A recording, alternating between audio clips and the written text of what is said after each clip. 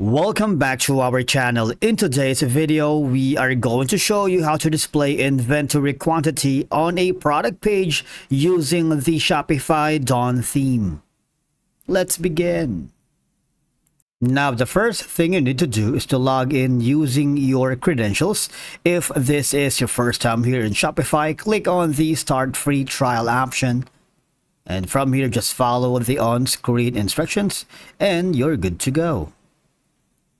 Now, displaying inventory quantity on a product page can provide several benefits for both you and the customers because when you show the inventory quantity, it creates a sense of urgency among customers.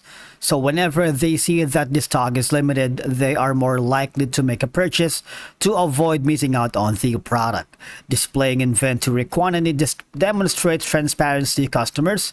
It shows that the business is open about its stock levels and helps build trust by providing accurate information about product availability. Now, if you haven't done so, go to your online store and click on themes. Make sure you using using the uh, current uh, Dawn theme, right? Which is gonna be the 14.0. And once from here, all I have to do is just click on the uh, customize option, right? Now, once you're here, all you have to do is hover to the uh, top part of your uh, dashboard, click on homepage and click on products. And from here, if you don't have, create a template. Now let's try to add um, a product information. Click on it. And from here, all I have to do is wait for it a little bit. Now, once it's loaded, just go to the product information and hover down below where it says add block okay and from here just click on the inventory status.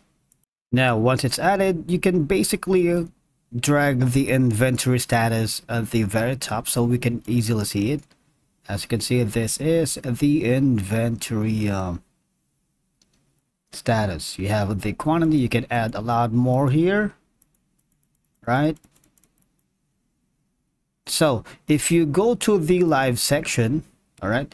You can uh, try to see that on the mobile device or the desktop as well. So here's the uh, inventory uh, status page. Right here. And if you wanted to have it a full screen you would be able to do so.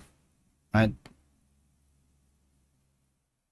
So basically that's how you display inventory quantity on the product page and remember that it is a strategic approach that benefits both business and customers by putting off transparency and efficient inventory management and that ensures the displayed inventory information is accurate and updated in real time to maintain credibility and customer satisfaction.